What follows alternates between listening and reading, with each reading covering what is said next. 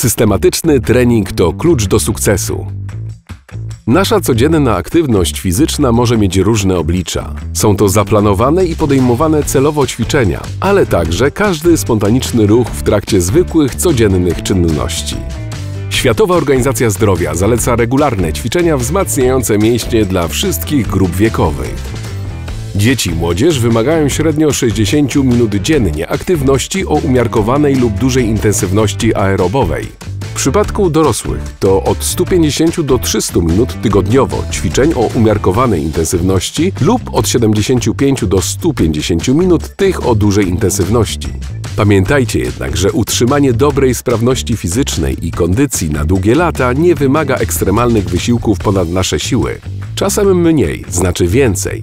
Najważniejsza jest systematyczność. Tylko regularny trening zapewni dobrą kondycję dla układu krążenia, układu oddechowego, a także kostno-stawowego.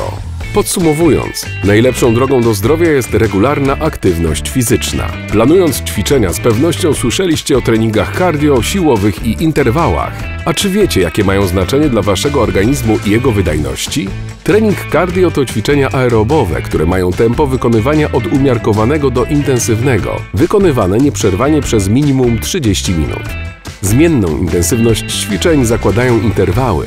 Naprzemiennie wykonujemy ćwiczenia o wysokiej i niższej intensywności.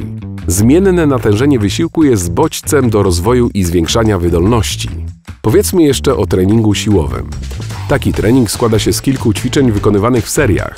Wybór ćwiczeń, jak i długość pracy, czyli liczba powtórzeń i tempo, ich intensywność oraz czas odpoczynku pomiędzy seriami zależy od celu ćwiczeń. Trening siłowy wpływa m.in. na poprawę siły i sprawności mięśni, a także poprawia gęstość kości. Na koniec mamy dla Was małą radę. Ćwiczcie wspólnie całą rodziną. To zapewni Wam silniejszą motywację i wytrwałość.